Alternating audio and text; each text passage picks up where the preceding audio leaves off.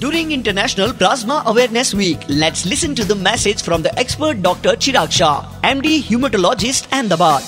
Namaste, I am Dr. Chirag Shah, cancer specialist, Apollo Hospitals, Ahmedabad. Plasma is the liquid component of the blood. From the donated blood, red cells, platelets, and plasma are separated.